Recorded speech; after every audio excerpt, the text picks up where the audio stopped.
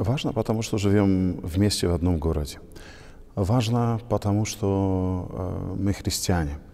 И важно, потому что у каждого из нас э, огромный потенциал, которым мы можем поделиться и, э, действуя сообща, сделать очень много хорошего. Тут, конечно, можно развивать это все в каждом направлении. Но я бы э, начал с этого общечеловеческого момента. Живем вместе э, в одном городе, горожане одного города, э, живем на одной земле. И вот э, хорошо было бы, чтобы мы друг друга уважали, чтобы мы дружили, чтобы нам было хорошо вот в этом городе.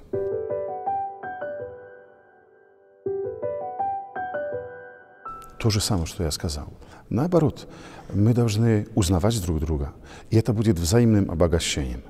То, что мы принадлежим разным церквям или там кто-то другой религии принадлежит, это очень часто сложившиеся обстоятельства, исторические, семейные. И здесь ничего не поделаешь. Один человек может принять решение и поменять свою веру, религию, а если смотрим э, на э, людей, на семьи, на поколения, это гораздо сложнее сделать. И поэтому мне кажется, что наоборот, нам надо взаимно обогащаться. Лично я, когда встречаюсь с представителями разных религий, мы очень часто общаемся, спрашиваем, рассказываем о своих традициях, о своих обычаях. Для меня это обогащение, потому что много, э, многого этого я не знал. И знаете, и тогда, если мы друг с другом общаемся, узнаем друг друга, на самом деле перестаем верить во всякие истории, сплетни, э, которые где-то существуют в обществе, а говорим, а это неправда. Я знаю лично этого человека, и это не так. А, скажите, пожалуйста, что такое милосердие, по вашему мнению? На самом деле, это, я бы сказал, это э, часть нашей человеческой природы и часть нашей христианской природы. Это или даже, э, даже основа э, нашего христианства.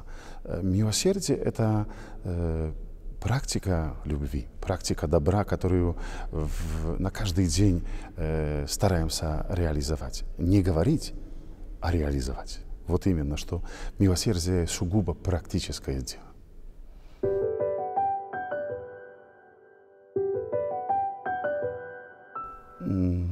На самом деле я вырос э, в христианской семье, я вырос в христианской среде, и поэтому милосердие, оно окружало меня э, с раннего детства. Я видел э, верующих людей, которые э, на каждый день Э, умели приходить с помощью нуждающимся. Э, то, что касается, ну, и тоже милосердие, э, оно имеет различные проявления. Где-то э, помогаем материально, а где-то помогаем, э, скажем, духовно, э, психологическая поддержка тоже, это, это тоже милосердие. Э, даже мне очень понравилось в прошлом году, в начале Великого Поста, Папа Франциск, когда говорил про милосердие, э, он обратил внимание на то, что частью милосердия является время, которое дарим человеку. Э, что не только отмахиваемся неким коротким действием, чтобы якобы успокоить свою совесть, а если хотим помочь, скорее всего, придется потратить больше времени, чтобы наклониться над человеком, может быть, услышать его, может быть, понять его э, настоящие нужды. Э, и это тоже часть э, милосердия. А, а то, что такой яркий пример, я скажу про э, негативный пример, свой личный, про свою ошибку, которую я совершил. Э, однажды у меня была назначенная встреча, э, я бежал, чтобы не опоздать на эту встречу. И пришел человек, э, у которого, очевидно, были проблемы, и который очень сильно хотел поговорить. И он мне говорит, отец Владимир, нужно поговорить. Я в этой спешке сказал, Вадим, не сейчас у меня люди. Я употребил такие слова. А лишь три года спустя этот человек мне сказал – и я тогда почувствовал, что я не человек для вас, да. И знаете, эти слова настолько глубоко они запали в мое сердце. Я даже неправильно выразился. Может быть, если бы я сказал, э, у меня назначенная встреча, я сейчас не могу, э, было бы по-другому. А я вот сказал именно так. У меня люди. И человек вот почувствовал э, это как, ну вот именно так. Я не человек для вас.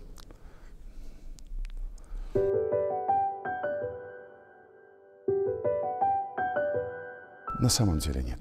А, отзывается, знаете, э, на э, конкретные нужды людей. Э, что, если что-то надо сделать, я вижу, что это действительно важное дело, я всегда откликнусь. Или сам каким-то образом включусь, или, может быть, вопрос в том, чтобы организовать людей, потому что не всегда ведь возможно самому всем заниматься а вот именно какая-то поддержка. Поэтому тут конкретные нужды. То, что вот действительно э, надо помочь человеку, который сам не справляется. Вот на это и откликаюсь. Конечно, есть э, приятные моменты, когда вот э, есть дети, которые благодарят где-то там вот. Но это, знаете, э, мне кажется, что как раз в вопросе милосердия не стоит нам руководствоваться такими поверхностными элементами. И и практика жизни говорит, не жди благодарности. Вот когда будем делать милосердие, не ожидая, что кто-то нам скажет спасибо, тогда никогда не огорчимся. И никогда э, вот это милосердие не будет для нас э, трудным э, делом.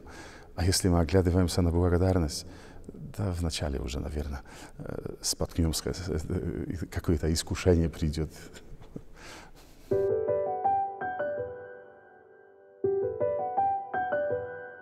Я думаю, что это, если говорим о вере, это милосердие является непосредственной связью с Богом.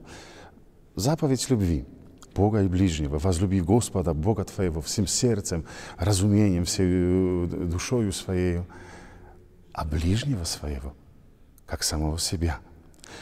И Христос э, однозначно соединяет эти, два, э, эти две заповеди в одну. Поэтому э, невозможно развиваться духовно, э, забывая о милосердии. Невозможно э, поднять взгляд на небо и говорить, что вот я набожный человек, моя вера сильна, и одновременно не видеть того, что вокруг нас происходит. Это значит, что мы не до конца переживаем свою веру. Бог дал нам душу и тело, и их не разорвать. Поэтому здесь, мне кажется, вот в этом духовном нашем росте как раз есть это духовное измерение, обращенное к Богу, его практическое измерение, которое из общения с Богом выливается потом вот именно, это наша доброта, э, наше, наше сострадание э, вот здесь, в нашей конкретной жизни.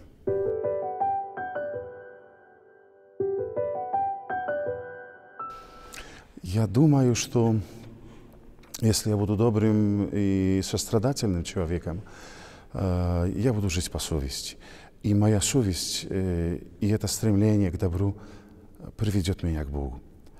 Как, на каких путях, в какой, в какой момент э, это не нам судить. Но я глубоко верю в это, что человек, который стремится к добру и помогает, проявляет практическую любовь, это человек, который напрямую стремится к Богу. Даже если он называет себя э, атеистом, неверующим, пусть он называет как хочет.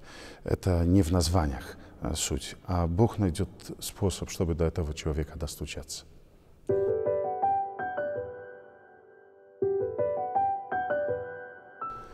Однозначно. В плане богословия, я думаю, что на протяжении, ну, уже получается тысячелетий, Э, люди мудрые, образованные, э, общались, вели переговоры, и сложно найти э, единый путь, в котором мы объединимся и создадим одну церковь вновь, единую христианскую. А вот милосердие – это тот момент, в котором как раз там нет разногласий. Потому что, делая милосердие, я думаю, что мы не должны начинать с вероисповедания. Э, я делаю милосердие не потому, что я католик, а я делаю милосердие, потому что я человек. И также мы не должны спрашивать, кто ко мне приходит. Член моей общины, э, верующий человек, приходит тот, кто беспомощен тот, кому нужна помощь. И как раз вот я думаю, что в этом плане мы можем действовать э, сообща, потому что мы не будем спрашивать друг друга э, про вопросы веры, не будем устраивать богословские дискуссии, а просто будем помогать. Когда надо человека накормить, только надо его накормить. Все, и там, там нет вопросов. А еще при этом придумать, как сделать, чтобы этот человек со временем сам начал отвечать за себя. Не только приходя э, и протягивая руку к нам, а вот именно, чтобы его довести до такого момента, что я сам могу э, за себя побороться. Я думаю, что как раз вот в такой реальной э, работе как раз эти э, разные веро вероисповедания не, будет, не будут никакой э, помехой, никаким препятствием.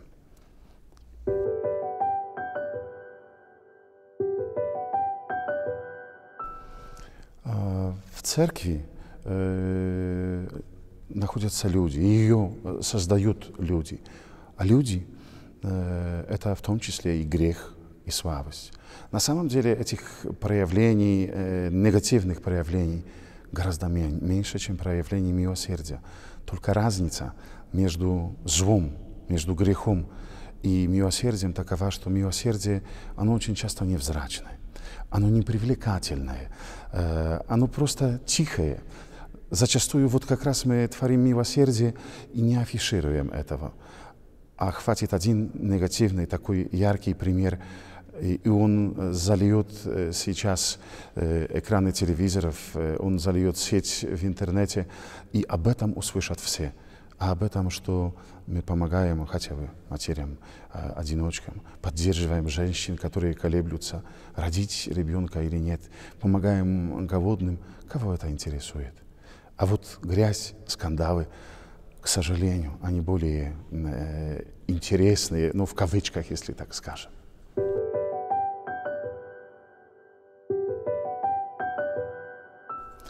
Если посмотрим на историю, однозначно – и мне кажется, что то, что касается э, церкви, э, церковь должна смотреть на людей и смотреть на время.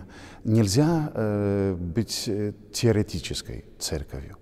А вот именно э, это все должно иметь связь с реальной жизнью, реальной жизнью людей, которые э, в церковь приходят. А это, само собой, э, направляет нас, фокусирует на, в направлении милосердия.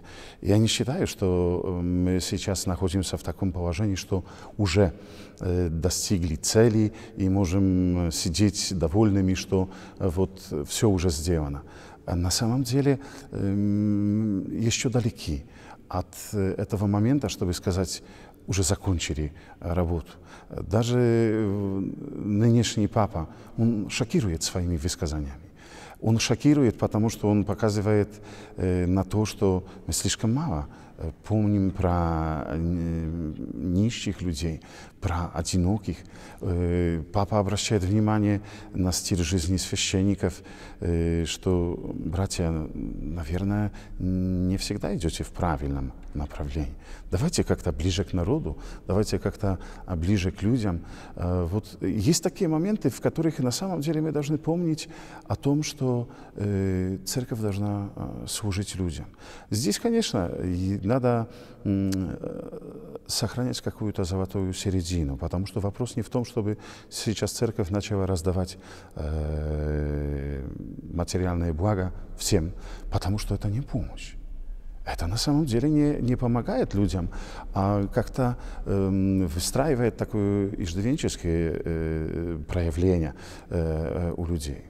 Эм, мы должны действительно творить, э, жить милосердием, творить милосердие. И я бы сказал, знаете, э, творя милосердие, э, поучать милосердие, потому что эти наши благопоучатели, они иногда нам дают очень много, и об этом мы не должны забывать. Потому что в этих людях зачастую находится житейская мудрость. Они открывают в нас иногда такие, э, знаете, э, такие ниши где-то в глубине души, э, о которых мы сами не задумывались.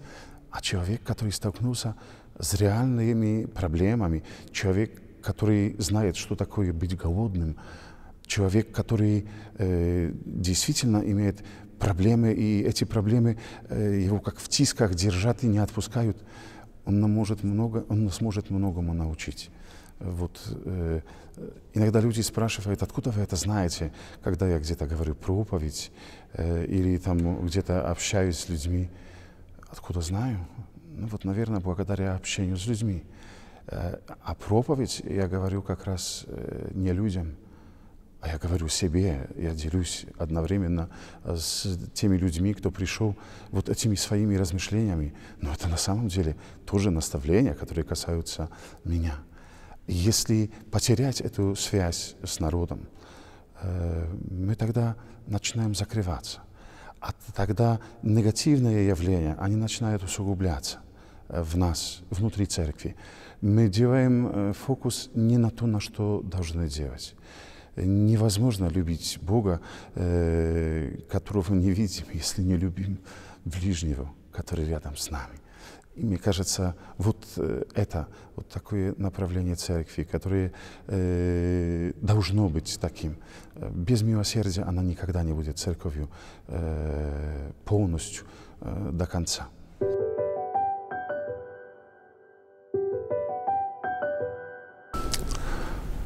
Надо, надо э, освободиться от эгоизма. Надо освобождаться от, от гордыни. Мы сейчас живем в обществе, которое наоборот, оно создает некую модель э, вот, человека-эгоиста, человека, которому никто не нужен человека, который должен сам стремиться к самостоятельности. Э, у меня все есть, я хороший, красивый, э, вот никто мне не нужен. Э, и вот эта модель, она как раз противоречит модели христианской, модели, в которой любовь и уважение занимают центральное место. Поэтому я бы сказал, что эм, современный человек, приходя в церковь, он как раз должен как-то э, излечить, излечиться от, от этого э, мирского э, такого э, характера, который вот сейчас нас окружает. Э, это тоже дар от Бога. Если мы будем приходить к Богу, я уверен в это, что э, мы будем тоже, э, этот процесс исцеления, он будет, он будет происходить. Мы самостоятельно этого не сделаем. Это вот это очередное заблуждение, которое где-то существует, что э, мы иногда так говорим, что я обратился к Богу, но, наверное, не совсем самостоятельно. Все-таки Господь тебе в, в этом помог. Также и вот сострадание, это милосердие, мы сами э, не э, взрастим в себе этих, э, этих качеств без Божьей помощи. Здесь, наоборот, если мы будем общаться с Богом, молиться, если мы будем искренне приходить в церковь, э, вот э, этот процесс будет происходить каким-то образом самостоятельно. Я даже не знаю, как объяснить, потому что это не, мы не знаем эту, э, этот механизм, как это все происходит. Но, знаете, общение с Богом, оно как, оно как вода, которую приходим, чтобы обмыть руки. Вода же не остается э, у нас э, на руках, но она сделала э, свою задачу. И также вот наше общение с Богом, наша молитва, мы ее не заметим, потом не видим конкретно, вот, что вот это осталось, и я могу это, посмотреть. Но вот как раз будем смотреть по плодам своей, своей жизни.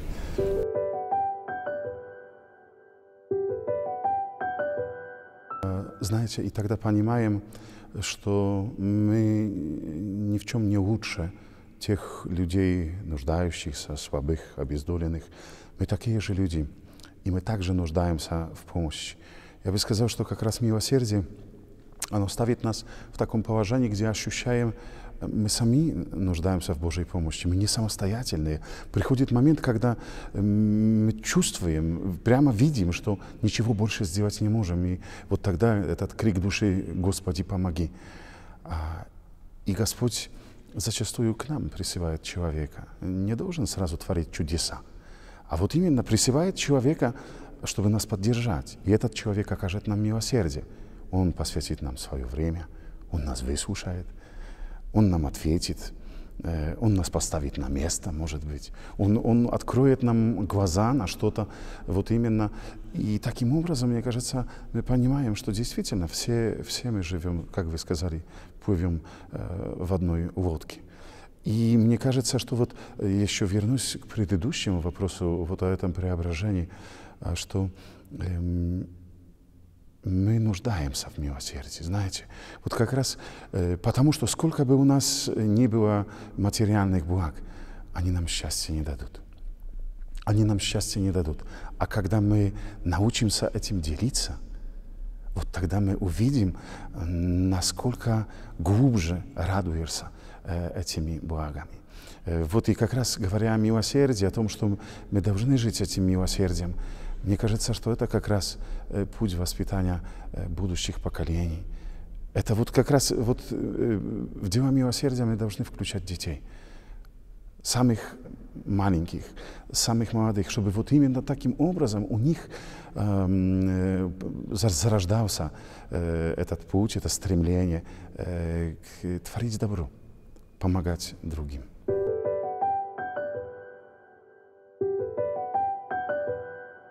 Мусульманин, ну, как, и, как и любой э, другой человек, искренний а, и э, искренне э, верующий.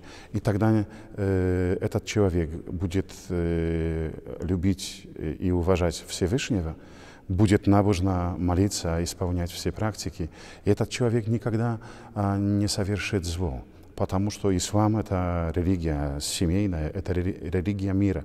А то, что мы знаем про э, священную войну, там же в э, Коране есть четкое предписание, что если э, условия мира предложенные, если попытки э, вот мирным путем разрешить конфликт не помогают, вот тогда это как крайняя мера.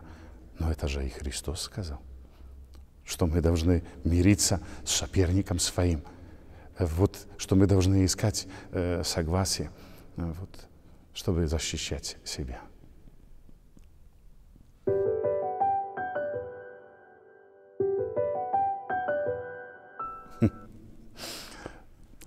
Все то, что в других церквях. Я всегда начну с искренности и, и с общения с Богом. Э, вот если мы говорим про церковь, это не внешнее проявление, это прежде всего вот именно эти внутренние э, искреннее общение с Богом, а это сразу тянет за собой э, много различных последствий. Это значит и личное раскаяние в своих э, прегрешениях, в своих э, ошибках. Это изменение своей жизни. Это как раз и любовь и уважение к другим людям. Это, это милосердие. Но эти элементы, я бы сказал, они общие для всех религий, всех вероисповеданий. И вот таким образом э, не останавливаемся на внешней оболочке, потому что любые внешние проявления э, веры, традиции, общие молитвы, э, церковные богослужения, это на самом деле мое личное общение с Богом вместе с общиной. Если этого не будет, тогда получится некий формализм, а это нехорошо ни для одной религии.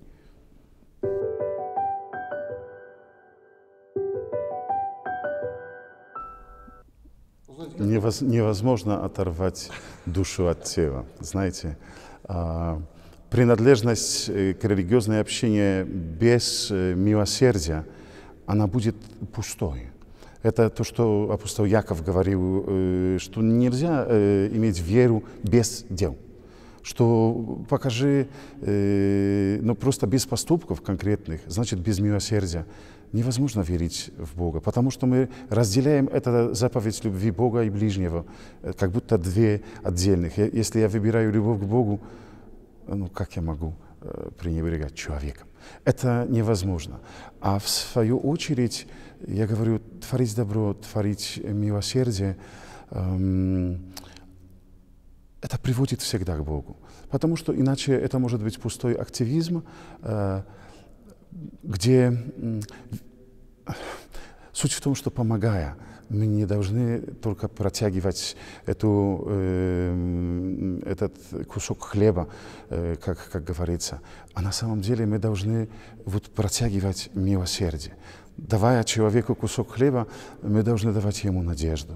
Мы должны давать ему э, вот, ощущение, что меня уважают, кто-то меня заметил, кто-то вот, вот, а это уже больше, чем просто одни дела милосердия. Можно, э, я говорю, что э, я верю в это, что милосердие, э, если оно искренне тоже переживается, оно всегда приведет нас к тому духовному, к той духовной составляющей. И даже если это делает атеист, и он позиционирует себя так, как человек неверующий, он прикоснется к тому, чего не понимает. И, а там уже, это уже пусть Господь с ним разбирается по своим каналам если так по-современному можно сказать.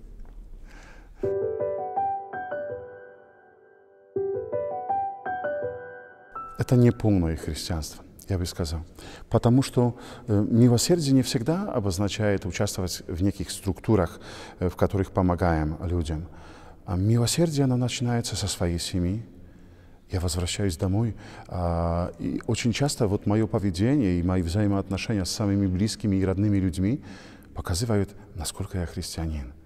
Может, как раз вот то, что я прихожу в церковь, ну, должна, должно как-то преобразовывать э, вот эти семейные отношения. Это потом отношения с соседями, отношения с коллегами на работе, с, э, с однокурсниками, одногруппниками, э, вот, э, среди молодежи. Э, вот всегда церковь должна иметь конкретное, э, конкретное отражение. Вот эта вера должна иметь конкретное отражение э, в жизни. Э, вера не должна заканчиваться на пороге храма, потому что тогда действительно это не полное христианство. А если она формирует мою жизнь, вот тогда она является, милосердие является продолжением этих церковных наших дел и традиций.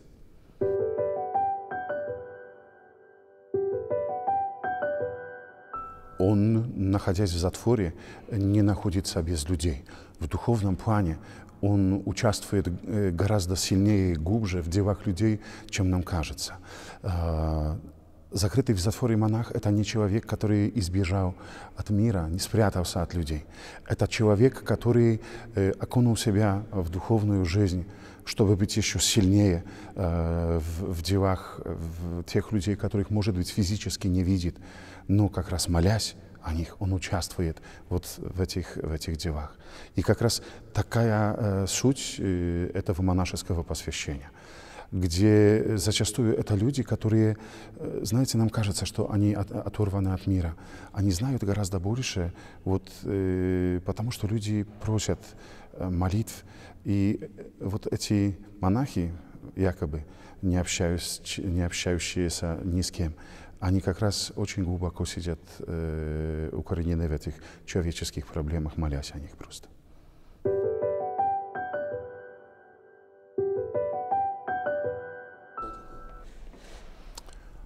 Ну, это как раз, и я бы сказал, это искреннее высказывание э, на тему христианства.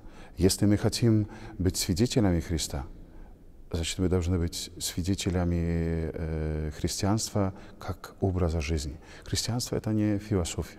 Христианство — это не идеология и не некая, э, некий набор э, религиозных э, жестов и, и традиций. Христианство — это жизнь. И как раз это высказывание людей, э, я бы сказал, что это то, что они э, искренне сказали свои ощущения. А для нас это укор. Потому что вот э, это не только касалось тех миссионеров, я думаю, что это касается всех нас. Э, если бы мы искренне жили э, по-христиански, и вот эта э, христианская любовь э, и милосердие, она бы ощущалась в нашей жизни, если э, наша любовь ко Христу была бы ощутима в нашей жизни, э, то сейчас весь наш город э, был бы христианским. А это говорит об этом, что мы далеки э, еще, э, к совершенству нам еще далеко. И это стоит еще работать над собой. Вот именно не других обращать, а себя начать.